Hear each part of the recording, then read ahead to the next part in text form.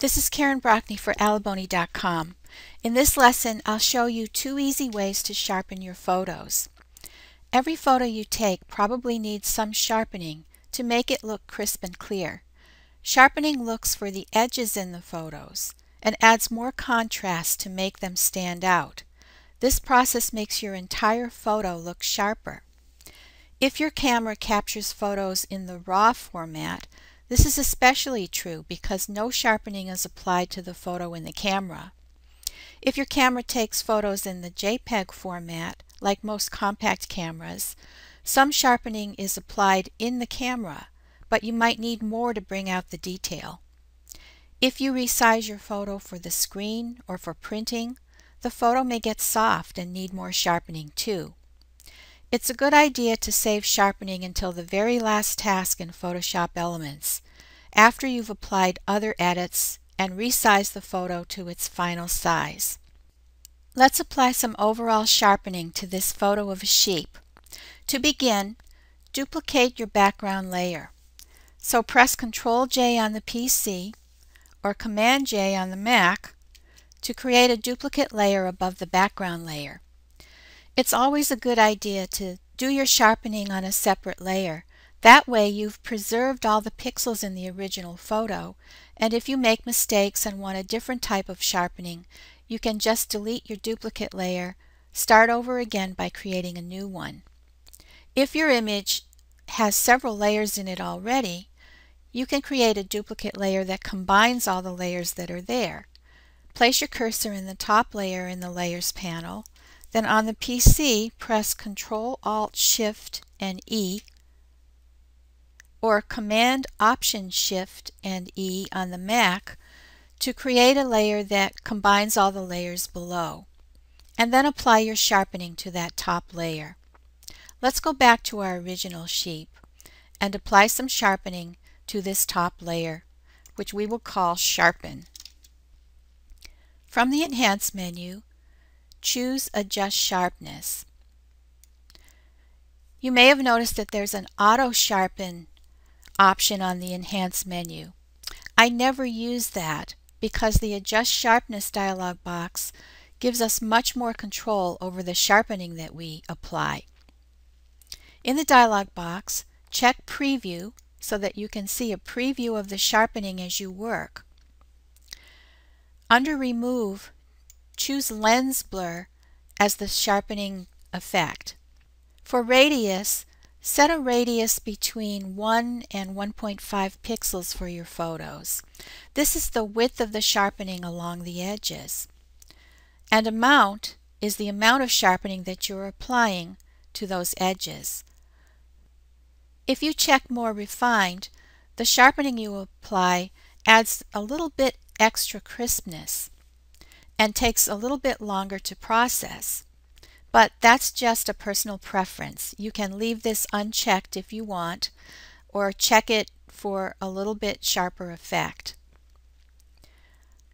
The slider that we will work with the most is Amount.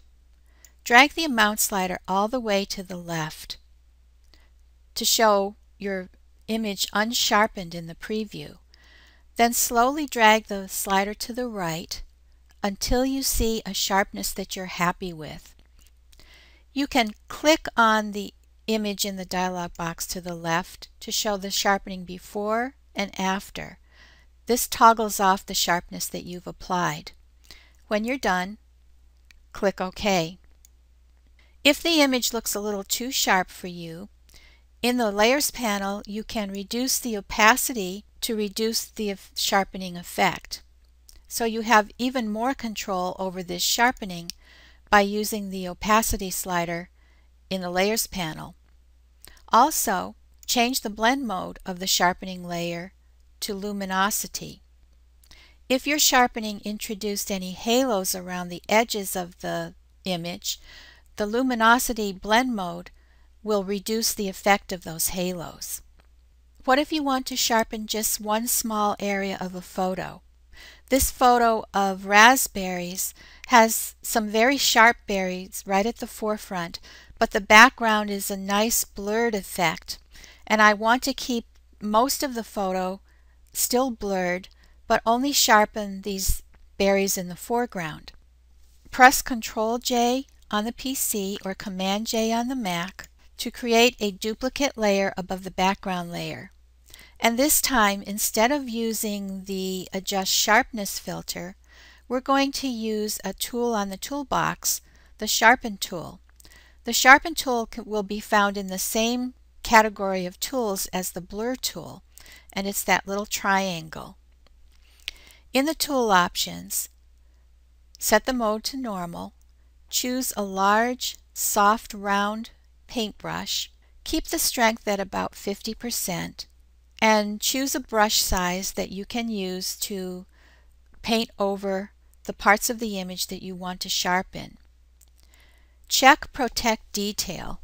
Protect Detail really will help this sharpening look good without over sharpening those edges.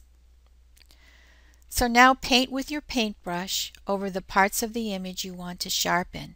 And I'm just painting over these few berries here and a little bit of that container. And over here, I'll press the left bracket to reduce the brush size a little bit and just paint over a few of the berries on the top that are out of focus. That little bit of sharpening added a lot of crispness to the photo, but it kept that nice soft blurred background as well. If you've sharpened a little bit too much, you can reduce the opacity and also make sure you change the blend mode from normal to luminosity to avoid any halos or, or color shifts along the edges. To summarize what we've done, sharpen your photos at the end of your workflow after editing and resizing them. Always create a duplicate layer to apply your sharpening. Use the Adjust Sharpness filter for overall sharpening and use the Sharpen tool for small areas of sharpness. Set the blend mode of the sharpen layer to luminosity and then adjust the opacity of the sharpen layer to adjust the strength of the sharpening.